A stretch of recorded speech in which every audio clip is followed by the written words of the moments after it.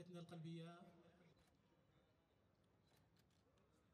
فقط نقول لكم يا أهل الجلفة.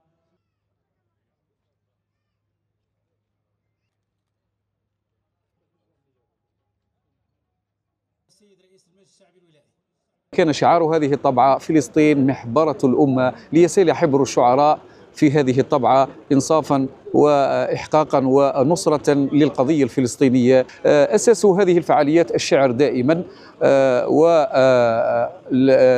والفعاليات فيها مهرجان أو يرافقها ملتقى علمي من خلال مداخلة العديد من الدكاترة المختصين في الأدب الشعبي.